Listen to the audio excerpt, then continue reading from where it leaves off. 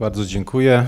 Witam, witam Państwa i cieszę się, że raz jeszcze mogę w ramach klubu, warszawskiego klubu Polonia Chrystiana przed Państwem wystąpić, takim, ponieważ temperatura na zewnątrz zgadza się z tematem, ponieważ mowa o Portugalii, więc tym bardziej jest to jakiś, jakiś znak. I rzeczywiście, tak jak Pan e, Krzysztof Stanius powiedział przed chwilą, e, temat wystąpienia dotyczy e, bezpośrednio Portugalii i prześladowania Kościoła, które miało miejsce bezpośrednio przed początkiem objawień w 1917 roku w Fatimie. I to prześladowanie Kościoła, które rozpoczyna się w takim tak bardzo intensywnie od 1910 roku, można traktować, należy traktować jako, jako właściwie takie, taki ostatni akord całego ciągu właśnie wydarzeń, które historycy nazywają wojnami o kulturę albo też kulturkampfami, które przetaczały się, przetaczały się przez cały XIX wiek w e, Europie. I w jakimś sensie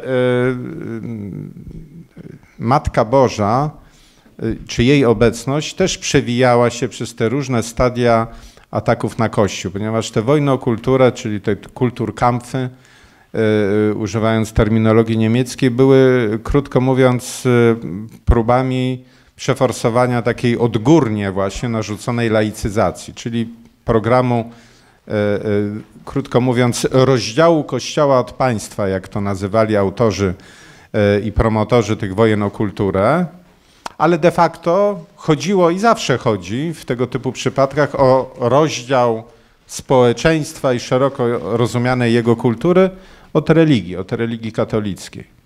I tutaj oczywiście też przy tej okazji to, co widzimy także w naszych czasach, czy w tych dniach w Polsce zwłaszcza, E, e, operowano, czy, czy pojawiały się takie dwa pojęcia, które wydają się niektórym e, bardzo, bardzo bliskoznaczne, niektórzy wy, używają ich wymiennie nawet, anty, antyklerykalizm i antykatolicyzm. Ale to są dwie różne rzeczywistości. Prawda? W różnych tych odsłonach ataków na Kościół, które miały miejsce E, w tym tak zwanym długim XIX wieku, który kończy się z chwilą wybuchu I wojny światowej, e, e, były rzeczywiście wątki antyklerykalne, czyli takie też odwoływanie się często do, do tradycyjnej, jak to się mówi, ludowej nieufności do osób duchownych, ale im głębiej sięgamy w wiek XIX, to znaczy im dłużej trwają te wojny kulturowe, tym na, na, na pierwszy plan, tym częściej na pierwszy plan, tym wyraźniej na pierwszy plan wychodzi ten wątek właśnie antykatolicki. Krótko mówiąc, wrogość wobec wiary, e, czy szerzej wobec całej też kultury, cywilizacji, która wyrosła e, wokół Kościoła katolickiego. I, a z drugiej strony właśnie mamy, mamy te objawienia maryjne, które od początku tych kultur kampfów przecież mają miejsce. Nieprzypadkowo Matka Boża, Matka Boża objawia się aż trzy razy we Francji, 1830 na Riedebach, prawda, objawienie cudownego medalika, 1846 La Salette i 1800, 1854 w Lourdes, czy 1858, żebym już nie pomylił, ale lata 50. XIX wieku. Bezpośrednio przed, e, e, przed e, kultem też niepokalanego poczęcia, czy dynamicznym rozwojem tego kultu z chwilą dogmatycznej definicji prawdy o niepokalanym poczęciu Najświętszej Maryi Panny. I nieprzypadkowo Francja, i tak samo nieprzypadkowo przecież objawienia maryjne w Gietrzwałdzie, prawda? Które miały miejsce dokładnie w apogeum kulturkampfu bismarkowskiego. Prawda?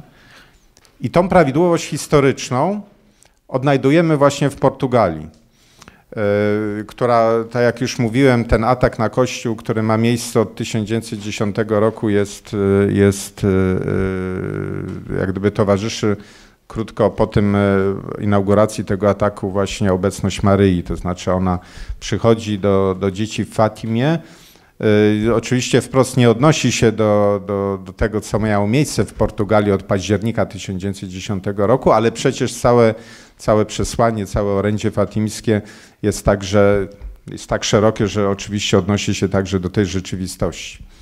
E, wszystko zaczyna się rewolucją październikową.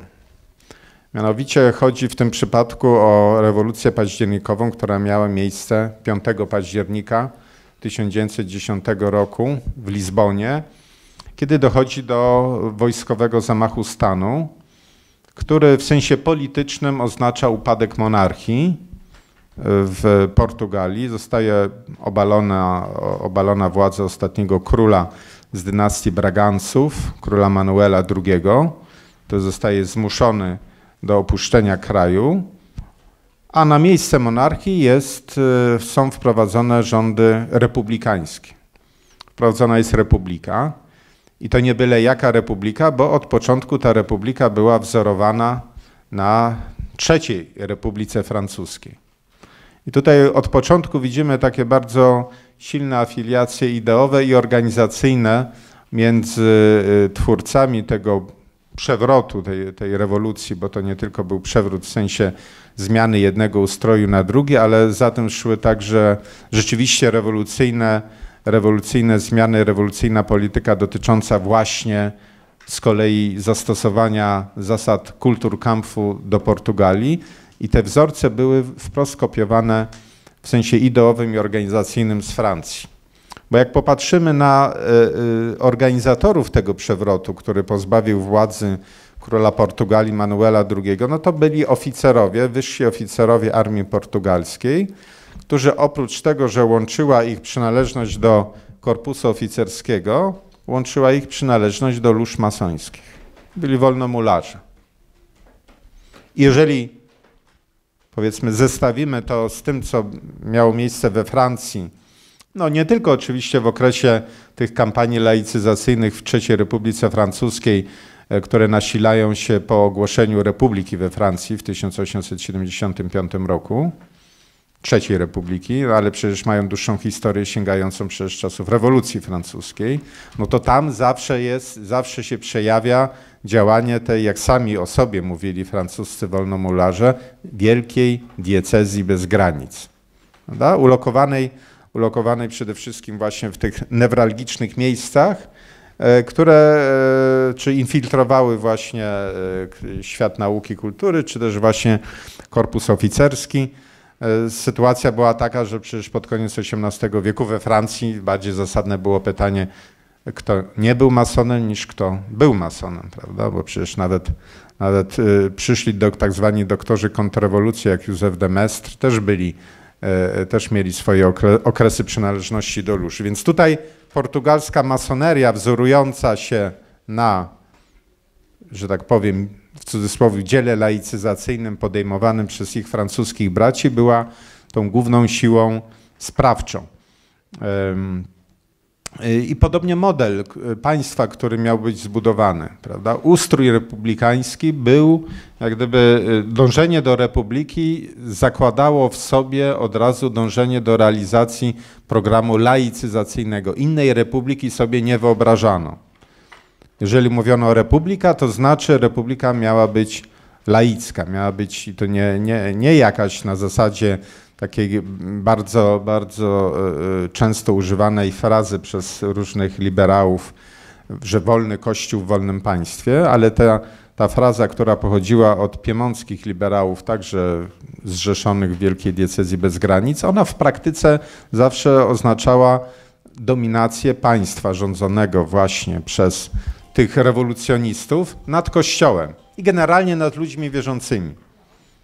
I ten wzorzec postępowania, który, y, tak jak mówię, od połowy XIX wieku obserwujemy czy w Piemoncie, czy w Republice Francuskiej III, czy w Prusach Bismarcka, odnajdujemy od 1910 roku y, w, y, w Nowej Republice, czyli w Republice, w Republice Portugalii, która czerpie oczywiście także z tradycji no, głębszych niż tylko niż tylko zapatrzenie się we wzorce francuskie. Bo trzeba powiedzieć, że właśnie wbrew obiegowym takim opiniom e, czy naszym przekonaniom, że no cóż, z czym nam się kojarzy, z czym nam się kojarzą takie kraje jak Hiszpania czy Portugalia? No to oczywiście to są kraje ultrakatolickie, e, wprost naturalne musiało tam być, czy jak gdyby do natury rzeczy musiało, e, by, należało to, że właśnie tam Matka Boża się objawiła, tak jak w przypadku właśnie Fatimy w 1917 roku. Ale przecież te kraje mają właśnie długą tradycję, długą tradycję takich e, e, właśnie walk z Kościołem, sięgającą właśnie czasów, czasów oświecenia. I tu przykład Portugalii jest bardzo dobry, bo w okresie, e, kiedy, kiedy mówi się, że istnieje w Europie Zachodniej tak zwany wiek świateł, czyli rozszerza się ideologia oświeceniowa, e, to właśnie Portugalia należy do e, awangardy tych krajów, które podejmują no właśnie działania inaugurujące wprost takie przewroty rewolucyjne. Myślę tutaj o udziale, czy o pewnej, pewnej takiej prekursorskiej roli rządu portugalskiego, przecież jeszcze monarchicznego, to jest e, epoka tak zwanego absolutyzmu oświecon, oświeconego czy oświeceniowego, e, e, prekursorska rola w rozpoczęciu tej kampanii wypędzania Towarzystwa Jezusowego, zakonu jezuitów z kolejnych krajów, która zakończyła się ostatecznie ugięciem się stolicy apostolskiej i ogłoszeniem decyzji o kasacie Towarzystwa Jezusowego w 1773 roku. No ale przecież e, pierwszy był, e, pierwszy był markiz Sebastian de Pombal, który w 1759 roku, to był pierwszy minister, tak zwany pierwszy minister króla Portugalii, który e, de facto rządził, rządził tym państwem Człowiek oczywiście oświecony i wolnomularz, który doprowadził do likwidacji Towarzystwa Jezusowego w Portugalii i w całym kolonialnym imperium portugalskim.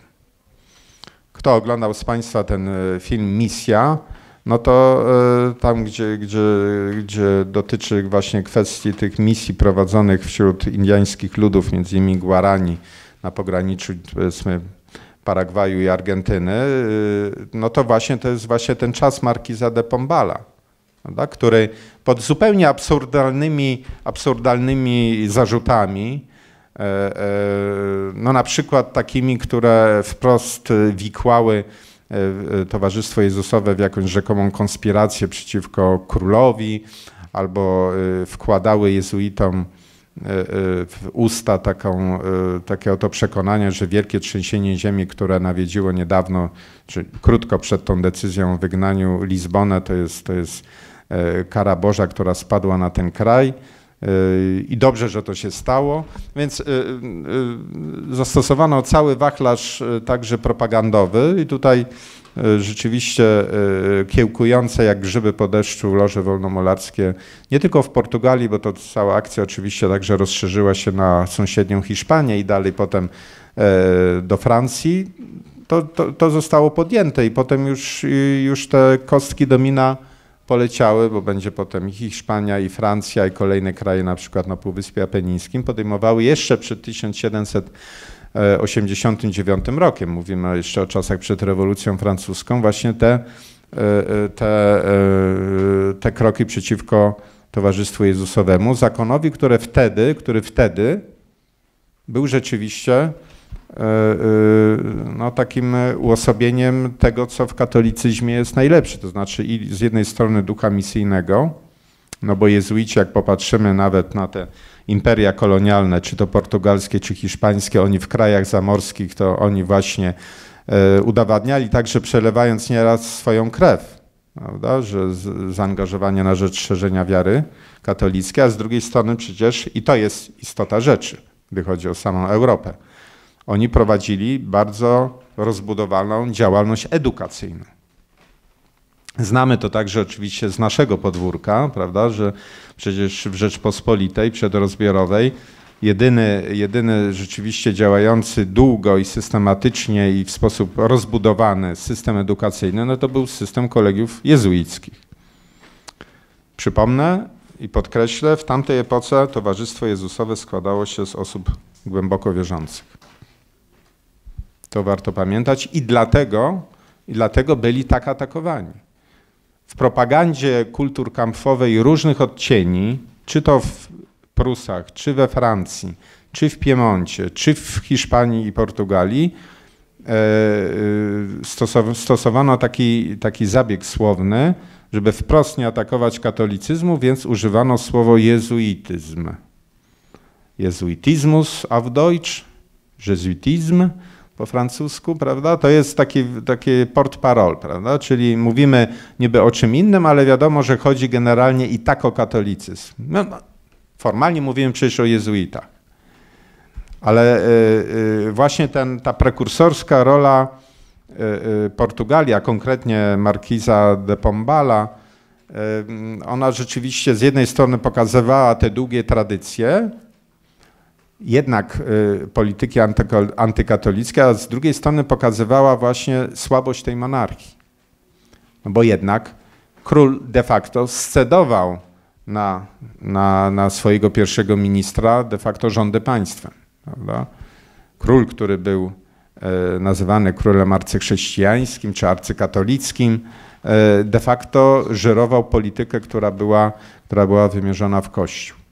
Taką kolejną odsłoną tej, e, tej, tej tradycji, tradycji polityki, uprawiania polityki antykatolickiej, która objawiała się także na przykład w, w politycznych, w politycznych konfiguracjach.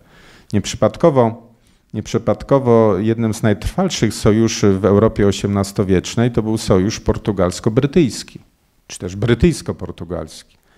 Wielka Brytania, która w XVIII wieku, w momencie, w którym właśnie trwały prześladowania jezuitów w Portugalii, przecież należała do państw najbardziej, czy prowadzących najbardziej zdecydowaną antykatolicką politykę, tak zwane penal laws, czyli ustawodawstwo karne, prawa karne, które de facto były apartheidem wymierzonym w katolików, że nie mieli prawa, nie wiem, e, oczywiście e, uprawiania swojego kultu. Msze święte były zakazane, zakazana była obecność duchownych katolickich, korzystanie z sakramentów, nie mówiąc o tym, że katolicy nie mogli być nauczycielami, wykładowcami akademickimi, lekarzami, broni nie mogli posiadać ani wierzchowców.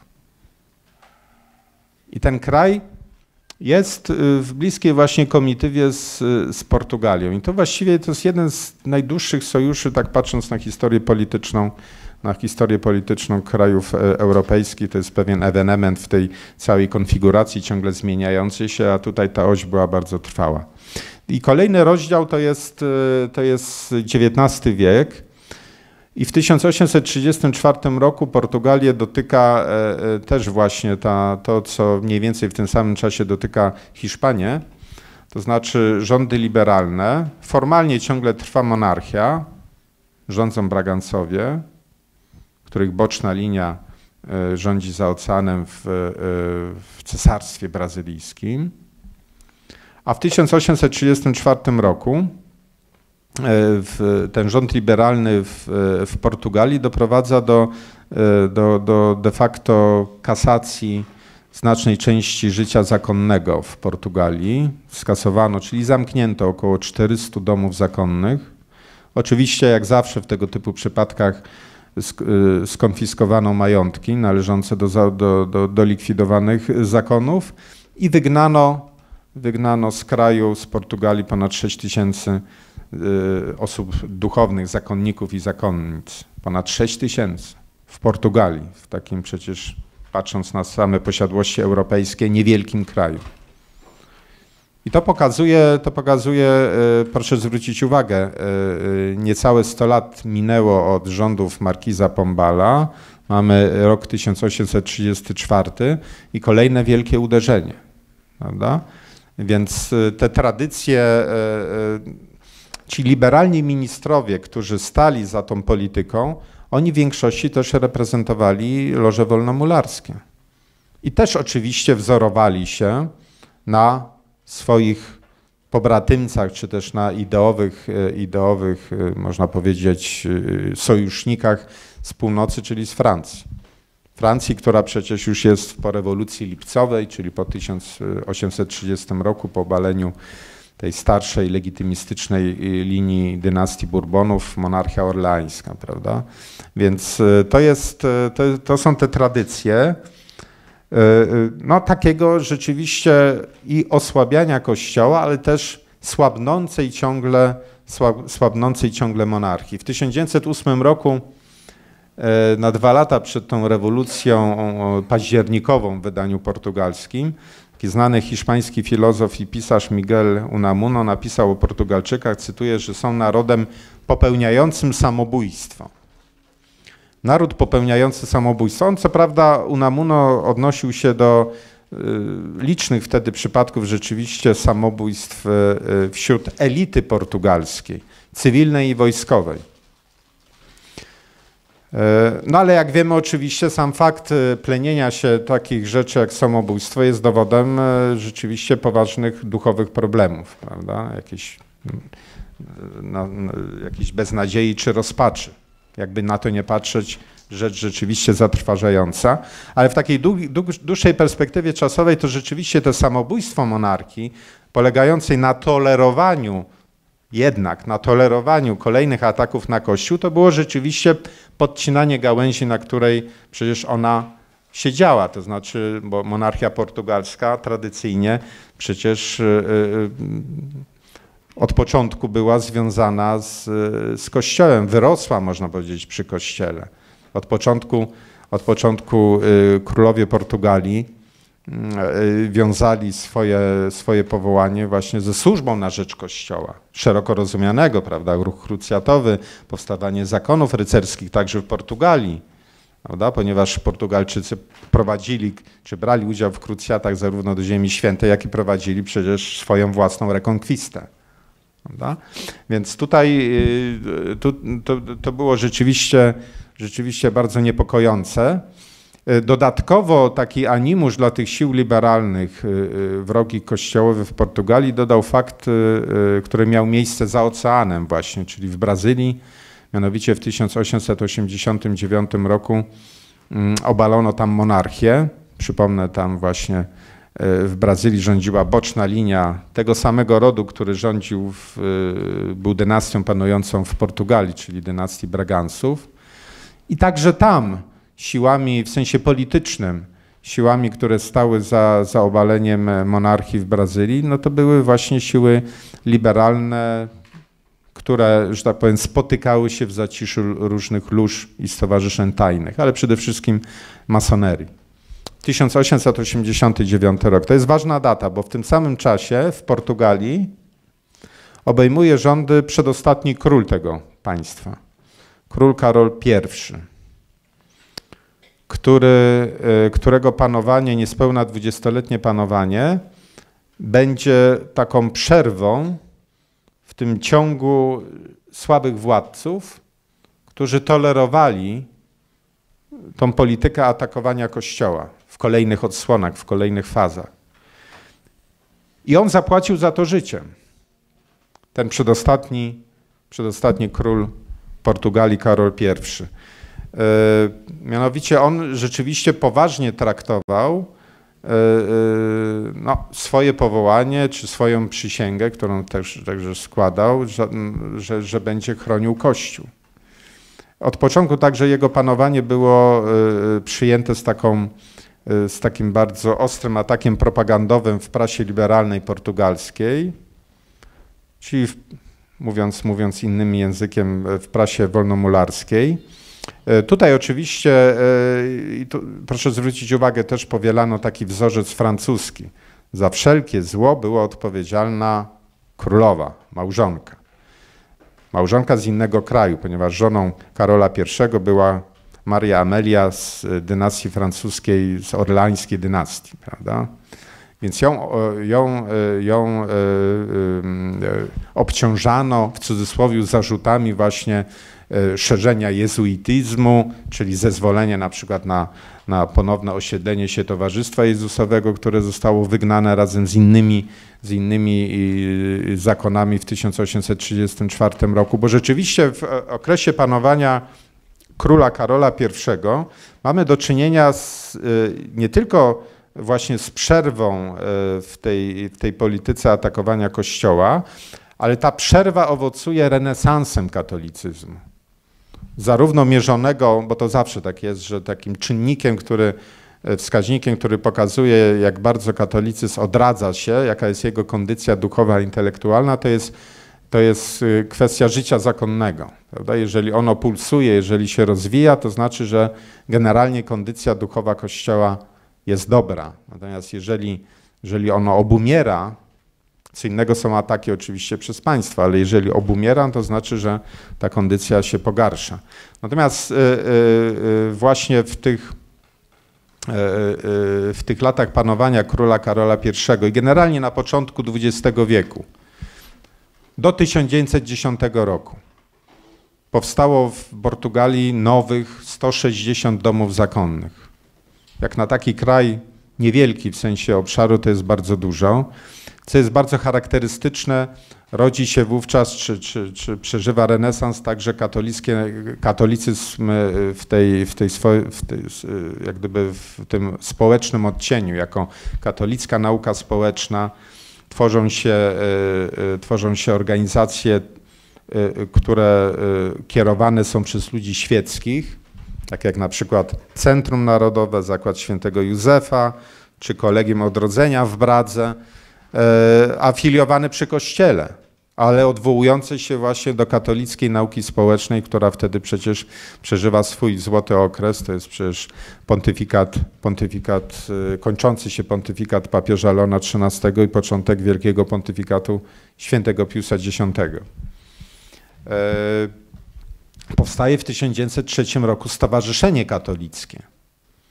E, to jest, to jest, można powiedzieć, y, jakaś forma, politycznego katolicyzmu w Portugalii. Próbuje się naśladować na przykład te wzorce reakcji na Kulturkampf, który miał miejsce w Niemczech.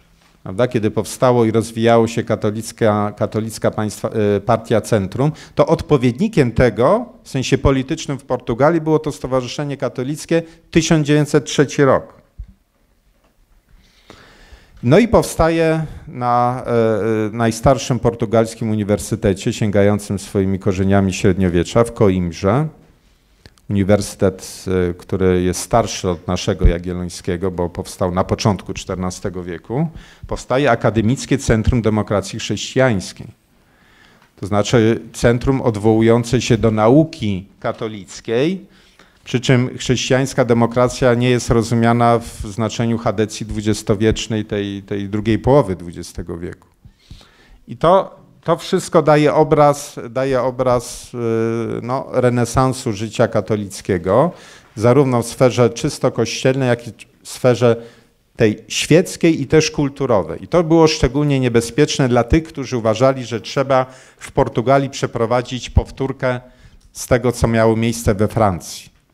Bo przecież w tym okresie, kiedy panował, czyli te panowanie przedostatniego króla Karola I to jest 1889-1908, we Francji, na którą ciągle patrzono jako na wzorzec, mówię o tych siłach liberalnych, przeprowadza się wtedy właśnie ten ostatni etap bardzo brutalnej polityki laicyzacyjnej, której ukoronowaniem jest ustawa o tak zwanym rozdziale Kościoła od państwa z 1905 roku do której będą nawiązywać rewolucjoniści portugalscy.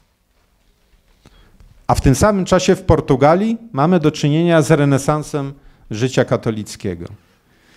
E, e, więc tak to nie mogło trwać.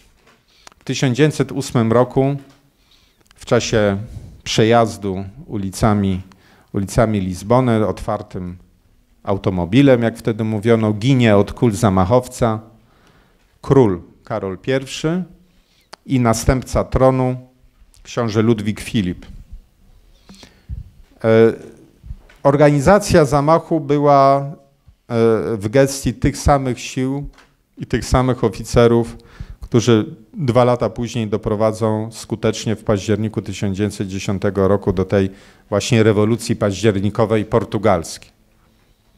Czyli kręgi, kręgi generalnie masońskie, niezadowolone z tego, że przynajmniej monarchia nie przeszkadza odrodzeniu się, odradzaniu się katolicyzmu w Portugalii.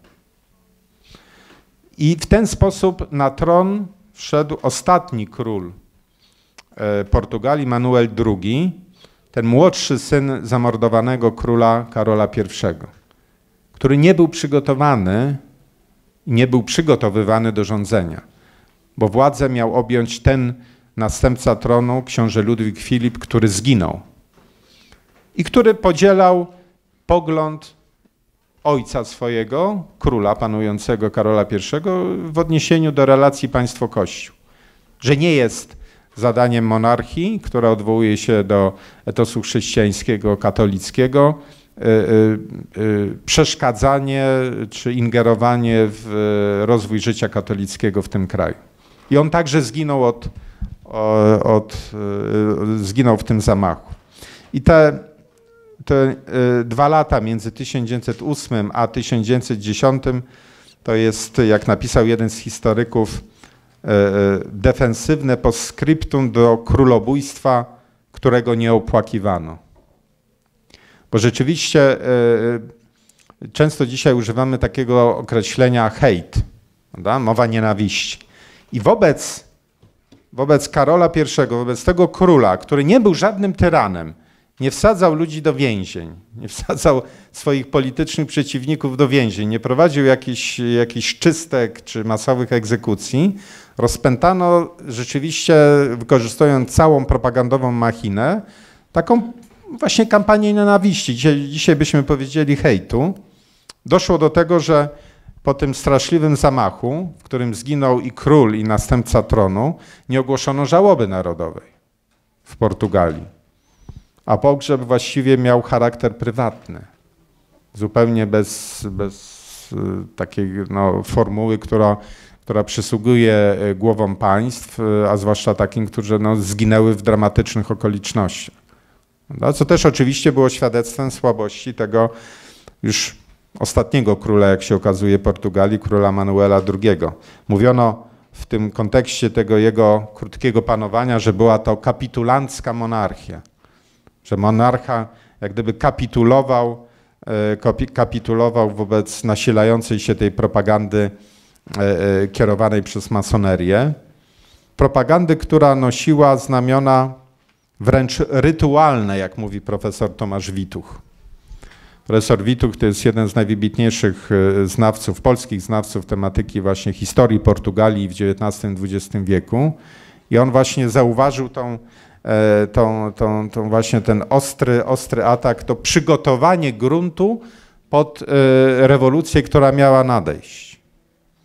1909 roku rozpętano na przykład w e, masońskiej prasie w Portugalii taką rzeczywiście kampanię nienawiści wobec całego duchowieństwa, biskupów przede wszystkim, a zwłaszcza biskupowi diecezji Beja, Sebastianowi de Vasconcelosowi. Ten biskup był e, solą w oku sił e, liberalnych czy sił masońskich, dlatego że on był twarzą właśnie tego katolicyzmu społecznego tego rozwoju na przykład całej sieci różnych stowarzyszeń katolickich, które były adresowane i do młodzieży, czy do robotników, czy rzemieślników, tego właśnie wchodzenia katolicyzmu w materię społeczną i kulturową. I do tego nie można było dopuścić. Stąd też ta rewolucja, która miała miejsce 5 października 1910 roku, kiedy ostatecznie e, w tych kręgach e, wolnomularskich stwierdzono, że trzeba, że monarchia już jest na tyle osłabiona, że ogień, można powiedzieć, ten propagandowy, który przygotowywał grunt pod ten, pod ten zamach, e, jest, był już na tyle wystarczający, że trzeba było przejść do działania i, przesz, i, i, ci ludzie przeszli. Król został obalony. Zaraz w tych kolejnych dniach po puczu Mamy do czynienia w Portugalii do fizycznych ataków na duchowieństwo. Ginie dwóch księży, początkowo ginie dwóch księży, e, e, zamordowanych przez e, tak zwanych populares, czyli jak to w prasie liberalnej pisano, reprezentantów gniewnego ludu, który wziął sprawy w swoje ręce, żeby wymierzyć sprawiedliwość właśnie księżom. Skąd my to znamy, można powiedzieć, prawda? E, te same bojówki ciężko pobiły e, zaraz w, w trakcie trwania tego puczu, ciężko pobiły ponad 100 księży w całej Portugalii tylko między, między 5 a 8 października. Mamy do czynienia, krótko mówiąc, z atakami już fizycznymi na duchowieństwo. Pozamykano oczywiście od razu, nie czekając nawet na formalne uregulowania, e, e, e, domy zakonne. Napadano na kościoły, pozamykano tytuły prasy katolickiej, zarówno w Lizbonie, jak i w Porto. To były takie poczytne dzienniki katolickie, które właśnie były też plonem tego odrodzenia się katolicyzmu społecznego. Jeden nazywał się Dziennik Portugal, był wydawany w Lizbonie, a drugi Palavra, czyli słowo, wydawany w, e, w Porto. I bardzo szybko także objawił się w tych dniach pierwszych po e, obaleniu monarchii Alfonso Costa, profesor prawa w Coimbrze i wolnomularz. Alfonso Costa.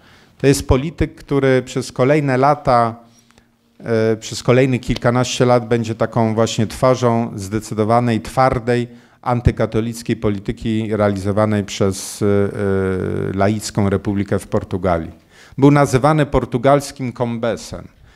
Od, naz, od nazwiska francuskiego premiera Emila Combesa, który był szefem francuskiego rządu w latach 1902-1905 i on dopełnił, postawił, postawił, postawił tą kropkę na div, e, gdy chodzi o tą e, ustawę z 1905 roku o rozdziale Kościoła, o tak zwanym rozdziale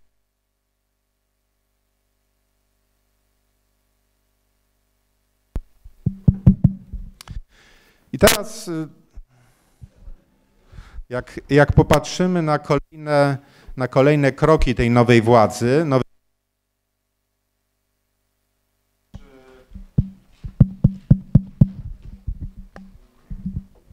Mamy już 8 y, października, czyli trzy dni po, po zamachu stanu,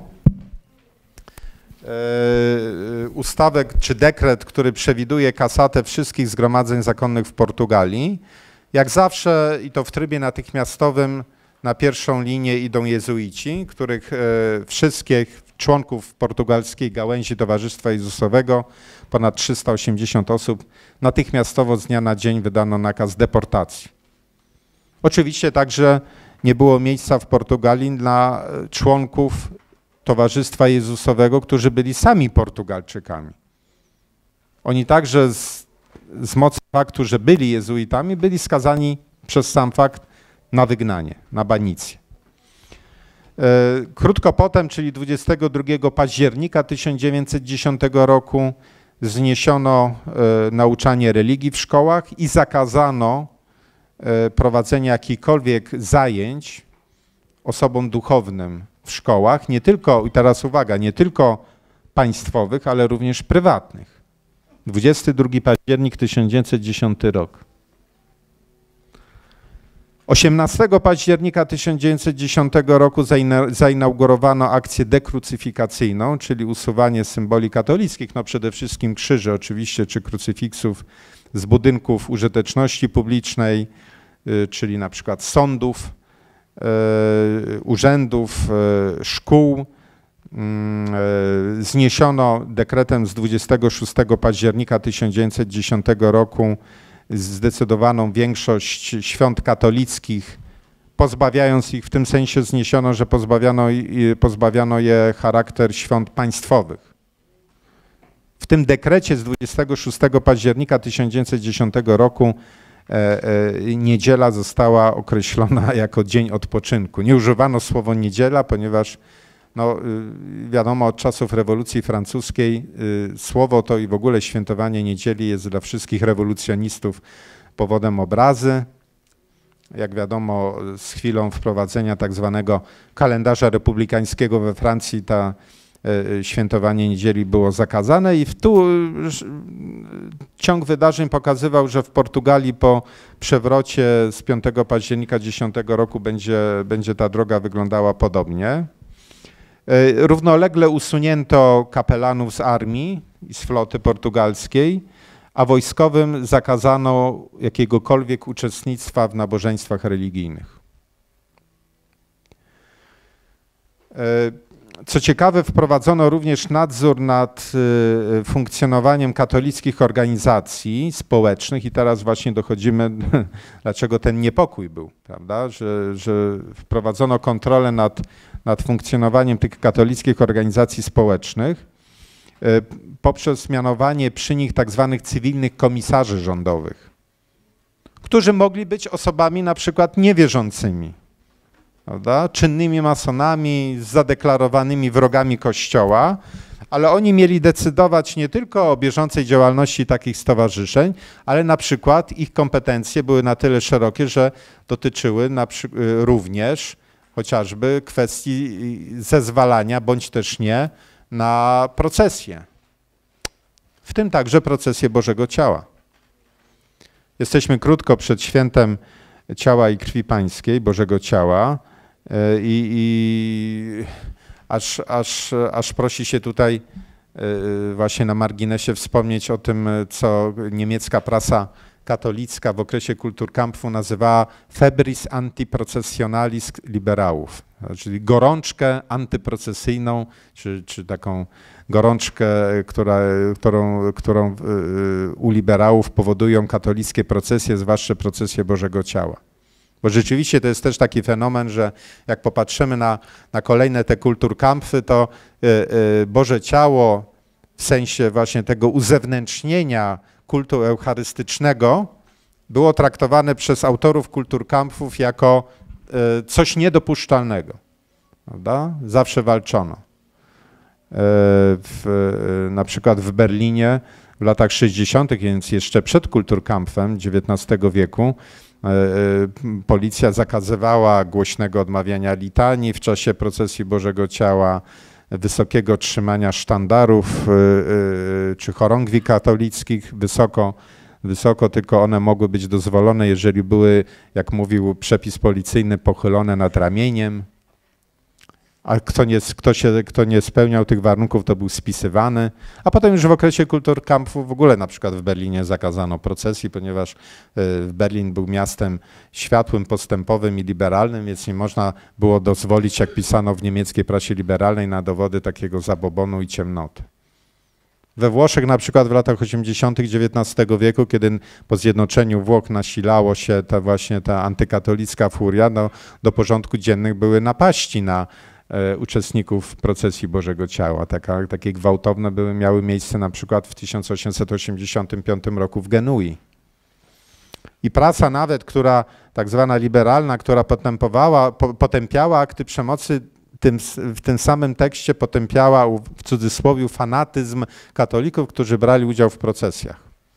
Co nas czeka, prawda? Za parę dni w Polsce, jak będą procesje Bożego Ciała, no to zobaczymy, prawda? Ale klimat, w jakim żyjemy, prawda? Tych ataków na duchowieństwo zwłaszcza, no, każe być tutaj, no nazwijmy to bardzo ostrożnym.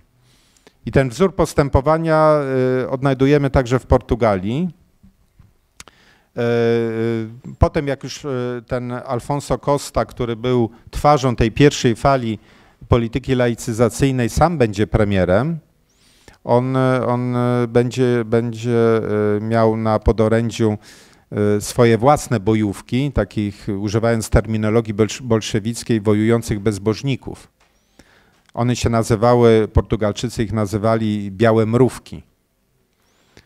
To byli to byli bojówkarze, którzy, y, których jedynym celem było właśnie zakłócanie czy to procesji Bożego Ciała, Bożego Ciała, czy na przykład takiej wielkiej procesji ważnej dla Kościoła w Portugalii, która zawsze miała miejsce 10 czerwca ulicami Lizbony no, ku czci świętego Antoniego Padewskiego. Święty Antoni Padewski oczywiście związany z Padwą, ale jak wiemy pochodził z Lizbony i one były, y, one były nagminnie atakowane. Y, tak samo na przykład uroczystości pierwszej komunii świętej dla dzieci. Y, nie, nie, nie oszczędzano nawet tych naj, najświętszych dla katolików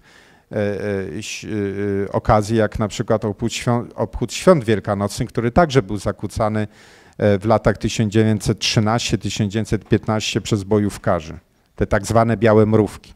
Portugalia 23 października 1910 roku zlikwidowano istniejący od początku na Uniwersytecie w Coimbrze, czyli od sześciu wieków, e, Wydział, Wydział Teologiczny, a potem usunięto także katedrę prawa kanonicznego z tego uniwersytetu. Czyli rewolucja przechodzi właśnie do tego, tej istoty rzeczy, prawda? Czyli odsuwamy Kościół od edukacji na poziomie szkół elementarnych czy średnich, potem uniwersyteckich. 3 listopada 1910 roku zalegalizowano i znacznie ułatwiono procedurę rozwodów. Też można powiedzieć abecadło każdej rewolucji. W tym sensie ci, ci rewolucjoniści portugalscy także odwzorowywali odwzorowywali ten, ten wzorzec francuski, no bo jak wiadomo, tak zwane małżeństwa cywilne i rozwody to jest też jedno z, jeden z owoców rewolucji francuskiej, tej, która zaczęła się w 1789 roku. Opublikowany nieprzypadkowo Święto Bożego Narodzenia, czyli dekret został nosi datę 25 grudnia 1910 roku. Ten sam dekret y, zrównywał w sensie prawnym konkubinat z legalnie zawartym małżeństwem. Co, jak wskazują badacze, praktycznie otwierało furtkę do poligami. No i ostatecznie oczywiście e, e, zerwano stosunki dyplomatyczne ze stolicą apostolską, to już miało miejsce 19 października 1910 roku, czyli równo dwa tygodnie po, po przewrocie, prawda, po, po obaleniu monarchii. A tą, tą kropkę na D stanowił opublikowany 20 kwietnia 1911 roku dekret o, rozdziale Kościoła od państwa, całkowicie wzorowany na e, ustawie francuskiej z 1905 roku, czyli na przykład odbierał jakąkolwiek własność kościołowi, w tym także budynki sakralne, tak jak katedry czy kościoły, i oddawał je w gestie tak zwanych stowarzyszeń kultowych. E, sama nazwa i samo rozwiązanie prawne jest też, można powiedzieć, przepisane z tej ustawy francuskiej z 1905 roku. E, I te stowarzyszenia kultowe na przykład dostawały kościół czy katedrę w dzierżawę. Nie jako własność, tylko w dzierżawę, która mogła być natychmiast odwołana przez władze państwowe bez podania nawet przyczyn, czyli całkowicie, tylko całkowicie arbitralne. E, była co prawda jedna różnica, bo w odróżnieniu do e, francuskiego rozwiązania w portugalskim dekrecie o rozdziale Kościoła od państwa do stowarzyszeń kultowych nie mogli należeć księża. We Francji formalnie mogli i należeli, natomiast w Portugalii nie mogli. Także widać, uczeń chciał, przerost, e, chciał przerost, czy prześcignąć mistrza i to rzeczywiście, gdy patrzymy na natężenie tych ataków na Kościół, to jest 1911 rok, to rzeczywiście jest, to jest, to jest prawidłowość. E, przy czym E, e, tego perfidia tego ataku polegała na tym, że w tym samym dekrecie właśnie o rozdziale Kościoła od państwa w Portugalii z kwietnia 11 roku przewidziano, że e, czy zapisano, że w Portugalii mogą pracować tylko ci księża, którzy ukończyli studia teologiczne w Portugalii. A zważywszy na to, że wcześniej polikwidowano wydziały teologiczne na uniwersytetach portugalskich, no to de facto oznaczało to, że plan był przewidziany na wymarcie kościoła w Portugalii, no bo skoro pozbawia się księży rodzimych możliwości edukowania się w teologii w kraju, a tylko mogą tacy pracować, no to wiadomo, że po paru latach, czy po parunastu latach ten kościół miał być skazany na no, naturalny sposób na wyginięcie. E, żeby zobrazować y, ten nastrój opresji, to jest, proszę zwrócić uwagę, mówimy ciągle o okresie jeszcze sprzed I wojny światowej, a cóż dopiero mówić jeszcze, że sprzed rewolucji bolszewickiej, ale już w tym zapisie e, dekretowym z 1911 roku e, znalazło się zobligowanie osób duchownych do, jak zapisano, cytuję, oficjalnego korespondowania za pomocą poczty jedynie z władzami publicznymi, a nie między sobą. Czyli ksiądz jeżeli chciał się skontaktować listownie z innym księdzem w innej diecezji portugalskiej, nie mógł tego zrobić, ponieważ listownie to on mógł się kontaktować tylko z władzą publiczną, która od października 1910 roku była w gestii e, e, ludzi, którzy, którzy, którzy pałali nienawiścią do Kościoła. Tu chodziło oczywiście o to, żeby e, jak argumentowano, żeby nie dochodziło do spisków osób duchownych przeciwko republice. Ale to pokazuje właśnie ten nastrój rzeczywiście, jak piszą niektórzy historycy, antykatolickiej paranoi, która wtedy, które, która wtedy ma miejsce w Portugalii. No i oczywiście, co jest także takie bardzo symptomatyczne, dekret o rozdziale Kościoła od państwa w Portugalii z kwietnia 11 roku przewidywał zakaz używania w kraju dzwonów. E, postanowiono, że bicie dzwonów w nocy będzie odtąd całkowicie zakazane, a rozstrzygnięcia co do dalszego istnienia i używania dzwonów kościelnych oddano w gestie poszczególnych władz municypalnych, które w większości zakazywały. Już francuscy rewolucjoniści mówili, że dzwony kościelne to jest werbel księży. Dlatego trzeba ich zakazać i zakazano, bo dechrystianizowano wszystko, także sferę dźwięku. I także tą drogą szli portugalscy laicyzatorzy. Pragnę tylko zwrócić uwagę, że zgodnie z tradycją Kościoła głos czy dźwięk dzwonu miał odstraszać demony. Dlatego, jak wiemy, cały rytuał poświęcenia i namaszczenia dzwonów właśnie to akcentował i akcentuje, prawda? Dzwony są namaszczane. Dlatego ta taka bardzo symptomatyczna nienawiść kolejnych pokoleń rewolucjonistów w różnych krajach właśnie do, do dźwięków y, dzwonów. My to znamy także oczywiście z własnego doświadczenia, bo także w okresie po 1989 roku w różnych polskich miastach ludzie o wyczulonym słuchu skarżyli się, że przeszkadza im głos dzwonów, na przykład wzywających wiernych na modlitwę, na, na mszę świętą w niedzielę, prawda? I że trzeba zakazać, że trzeba to ograniczyć. Prawdopodobnie zważywszy na logikę wypadków, które ma, ma miejsce dzisiaj, to prawdopodobnie tego typu głosy zaraz pojawią się w kolejnych, e, w kolejnych tygodniach, e, bo, bo przecież e, no, kulturkampf nie zna granic, jak wiadomo.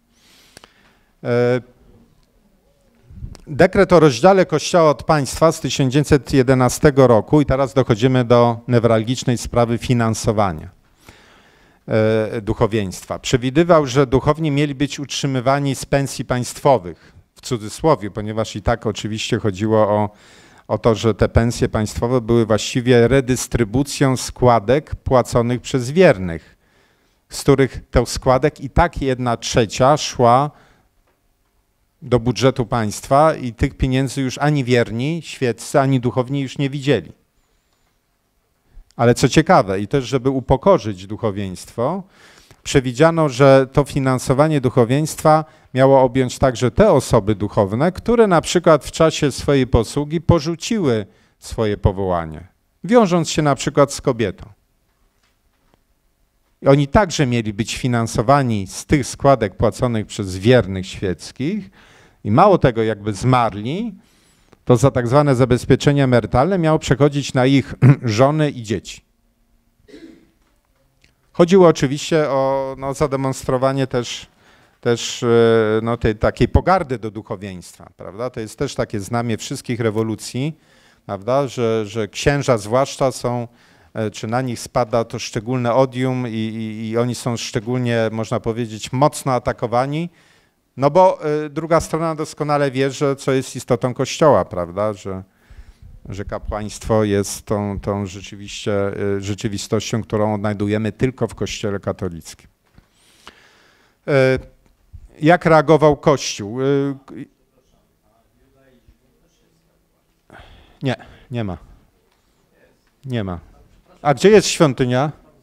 A gdzie jest świątynia? Nie ma. Nie ma.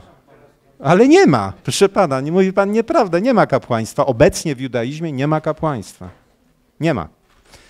I teraz jak, reago, jak, jak reaguje Kościół, zarówno Kościół w Portugalii, jak i, jak i Stolica Apostolska?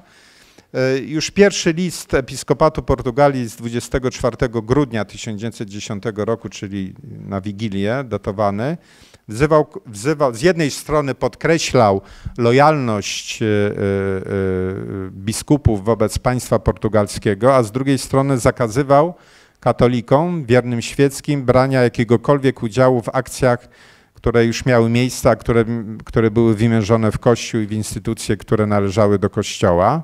Oczywiście represja polegała na tym, że władze zakazały odczytywania tego listu, w kościołach, to jest taka propos hasła rozdziału kościoła od państwa. Tacy, którzy złamali ten zakaz, jak na przykład biskup diecezji Porto, od razu trafił do więzienia. E, w Kolejny list pasterski był e, biskupów portugalskich, był reakcją na ten dekret o rozdziale Kościoła od państwa i ten list był z 5 maja 1911 roku. E, który e, w tym liście biskupi portugalscy zdecydowanie odrzucili samą logikę e, czy ideę rozdziału Kościoła od państwa i jego konkretne brzmienie, które miało miejsce w tym dekrecie. No i w tym przypadku to oznaczało karę banicji właściwie dla wszystkich biskupów. Na czele z patriarchą Lizbony i na wygnanie zostali skazani biskupi z, z diecezji Braganza, Faro, Lamecho, Porto Alegre i Viseu. E, w każdym bądź razie doszło do tego, że po tym liście z maja 1911 roku właściwie cały episkopat Portugalii był poza krajem. Zostali skazani na banicję. Reakcja stolicy świętej e, e, nastąpiła 24 maja 1911 roku. Święty Pius X opublikował specjalną encyklikę dotyczącą prześladowania Kościoła w Portugalii, e, zatytułowaną Jam Dum Dum Lusitanie, w której jak gdyby no, papież powtórzył e, e, swoje orzeczenia wcześniejsze, które miały miejsce w odniesieniu do francuskiej ustawy o rozdziale Kościoła od państwa, e, nazywając ten dekret, ten portugalski dekret jako występny i szkodliwy, dokument, który pogardza Bogiem i odrzuca wiarę katolicką.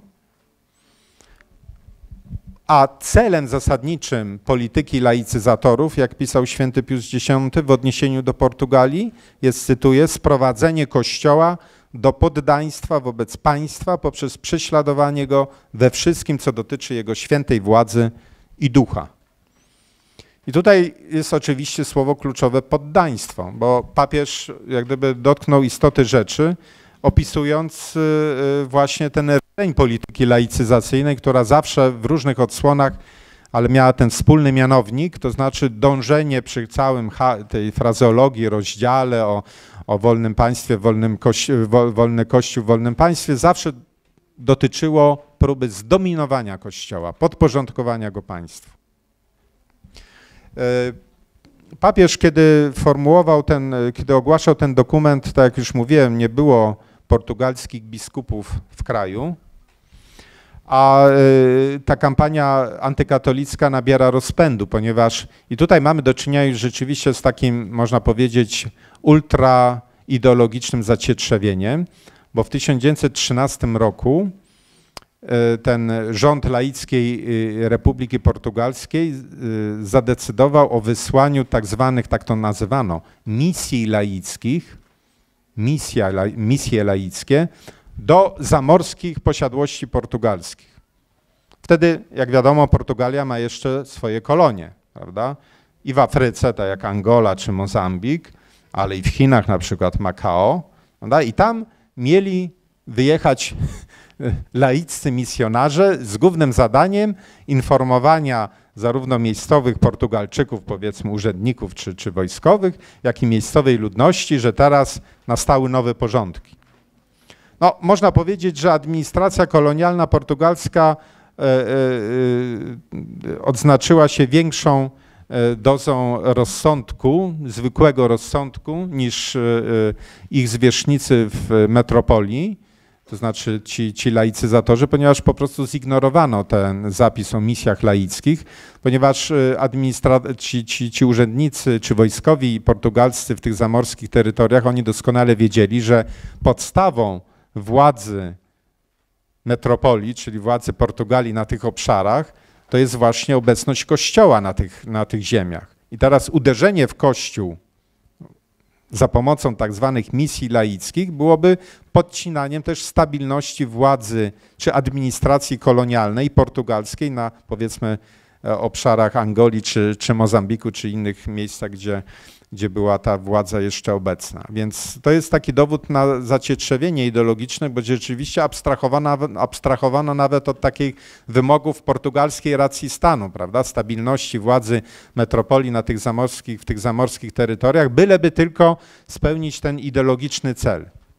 To jest zresztą też, można powiedzieć, e, e, e, taki naśladowanie wzorca francuskiego, bo wspomniany premier Emil Combes w latach 1902-1905. On też próbował właśnie wysyłać misje laickie powiedzmy do Indochin francuskich czy innych, czy Afryki Północnej francuskiej, żeby tam z kolei też szerzyć, e, jak pisano, zbawienną ideologię laicyzmu. I w tym samym czasie, czyli od 1913 roku aktywizują się te wspomniane bojówki. E, e, w każdym bądź razie dochodzi do tego, że ta y, ich y, skala tego, tych napaści, czyli po, krótko mówiąc łamania prawa, nawet ich, tego, tych kodeksów republikańskich była tak duża, że wojsko postanowiło działać. Doszło do, do, do takiego, no można powiedzieć, przewrotu wojskowego w 1915 roku ale e, e, wchodzi wtedy Portugalia w okres całkowitej takiej już destabilizacji politycznej, ponieważ te rządy wojskowych są, e, można powiedzieć, znowu zastąpione w wyniku wyborów powszechnych w czerwcu 1915 roku przez powracającego do władzy ministra, jako już jako premiera Alfonso Coste, który rzeczywiście wtedy przeprowadza takie apogeum tych ataków na Kościół. W latach 1915-1917 spalono ponad 100 kościołów w Portugalii. O wiele więcej zostało sprofanowanych. Rabuje się naczynia liturgiczne, sztukę sakralną, dewastuje się najczęściej. Mm, e, taka istotna informacja, proszę Państwa, na skutek działań tak zwanych nieznanych sprawców, w Portugalii w latach 1915-1917 zginęło dwa razy więcej katolików, zarówno świeckich, jak i duchownych, niż żołnierzy portugalskich, którzy walczyli od marca 1916 roku na, froncie, na frontach I wojny światowej. Portugalia weszła wtedy do wojny po stronie Antanty, a w tym samym czasie dochodzi do takich krwawych napaści na katolików. W samej Portugalii. I w tym kraju właśnie, w takiej atmosferze, kiedy nie ma biskupów, kiedy księża i ludzie świeccy, katolicy, tylko dlatego na przykład, że biorą udział w procesjach Bożego Ciała, albo biorą udział w uroczystościach pierwszokomunijnych, są atakowani, no, na przykład wrzuca się bomby do kościoła, albo rzuca się bomby w procesję tak zwane białe mrówki albo bojówki karbonarskie. Karbonariusze też są bardzo czynni. Właśnie w tym kraju 13 maja 1917 roku pojawia się Matka Boża. I od początku wzywa do czynu zakazanego prawem laickiej republiki, to znaczy do modlitwy na różańcu. Publiczna modlitwa na różańcu, zgodnie z dekretem o rozdziale Kościoła od państwa w Portugalii, była ostentacyjnym religianstwem i jako taka, podobnie jak na przykład noszenie sutan przez księży, była zakazana. I w tym, w tym czasie właśnie, to jest ta epoka, to jest ten kraj, w którym, do, którego przychodzi Portuga do, do którego przychodzi Matka Boża, e, kraj, który przeszedł swoją rewolucję październikową. Jak wiemy, e, Matka Najświętsza będzie e, e, przez usta dzieci fatimskich będzie zapowiadać kolejną rewolucję krwawszą, znacznie krwawszą, a będzie związana z tymi błędami Rosji, prawda? Ale przecież można powiedzieć, jak popatrzymy na ten długi ciąg wydarzeń, Matka Boża właściwie pojawiała się w tej, w tej krótkiej przerwie między rewolucjami, prawda? Żeby podtrzymywać, też wskazywać, wskazywać te środki ratunku, E, e, o których przecież, e, czy też opowiada, opowiada film, który z pewnością Państwo widzieli, Fatima Orędzie Nadziei, czy jakiekolwiek inne produkcje katolickie, które mówią o, o przesłaniu fatimskim. Ale właśnie to, ta, ta długa historia, długie trwanie tych ataków na Kościół w samej Portugalii, czy generalnie szerzej, jak popatrzymy na te miejsca także związane z objawieniami Matki Bożej, no to rzeczywiście pokazuje, że E, że jest ten ścisły związek, można powiedzieć nawet dotykowy między Matką Bożą a złym, ale dlatego, że Matka Boża depcze jego głowę. Dziękuję bardzo.